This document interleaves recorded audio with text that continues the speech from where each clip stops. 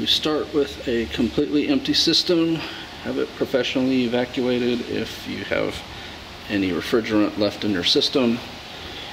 And you're gonna need a vacuum pump and one of these AC gauge sets. And these valves are closed so nothing can flow right now. And what I'm gonna do is turn on the vacuum and then we will open the valves and you'll see that those will go to negatives. And we'll let that run for a couple minutes build up some vacuum in the system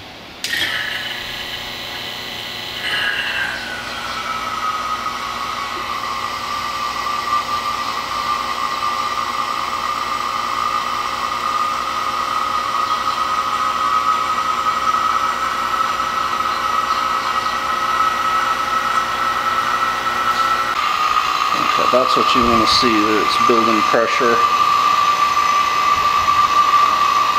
You could just have a leak from one of these fittings, You want to make sure you got them real finger tight. You don't need to use a wrench on them, but they need to be snug. So hopefully now I can shut this down.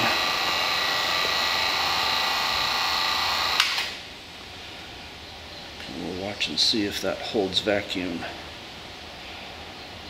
Several minutes, it shows that we're still holding vacuum. So I'm gonna go ahead, turn the pump back on, open up these valves and let it run for a good 30 to 45 minutes solid to vacuum out any moisture or impurities in the system.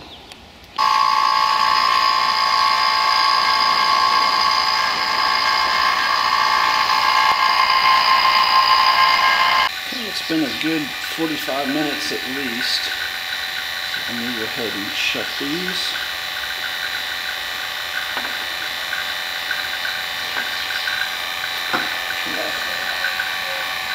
Vacuum. And our vacuum is done, so we'll put it up. So our tag says we need 27 ounces. These are 12 ounce cans. We need two cans plus three ounces. The way you figure that is weigh your can. You weigh the can on a scale and then you'll hook this up and basically watch the scale drop three ounces and you'll know it's full.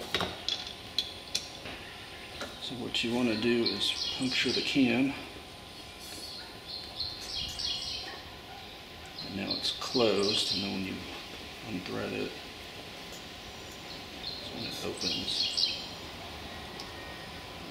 sure it's not leaking here, obviously. So first thing we need to do is purge the air out of the line here. This does not have a purge. This one does not come with a purge valve, so what we're going to have to do is very carefully thread that until the refrigerant comes out. And now we're ready.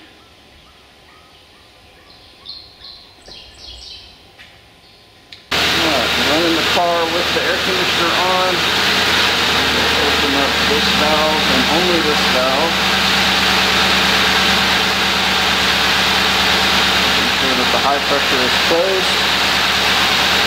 And so the refrigerant should run through there and get sucked in. And you can watch down there for the compressor to kick on and off typically not going to run when it's low pressure, but every now and then it'll kick on. And when it does, it'll suck up a bunch of the refrigerant, and eventually it'll get enough in that it'll stay on. And if you want to, you can bypass the air conditioner compressor relay and make it suck up the coolant faster if you're in a hurry hear the compressor kicking on with more frequency.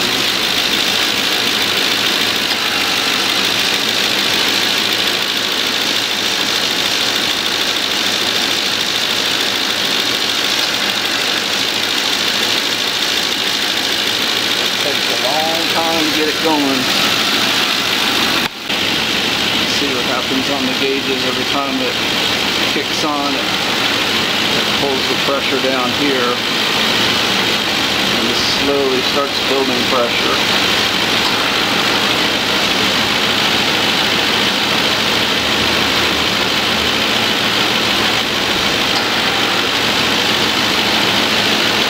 And once it gets enough, you can hear the compressor just stays on. So I'm about two cans in right now.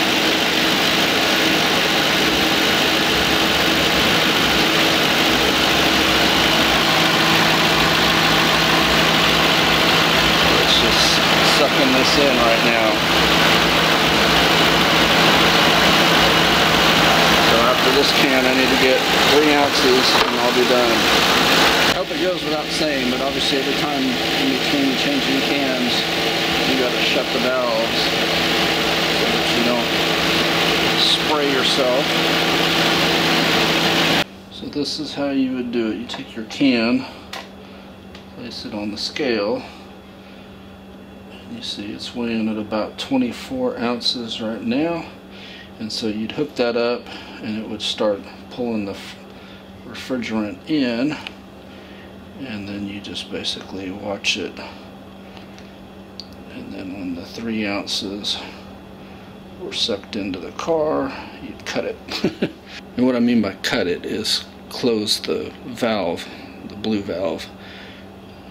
And when you're done, make sure you put your caps on. Your high side and your low side. And uh, yes, Chuck from Panzer Platform. I finally got the cap back on there. I had to change out the Schrader valve to one that actually fits.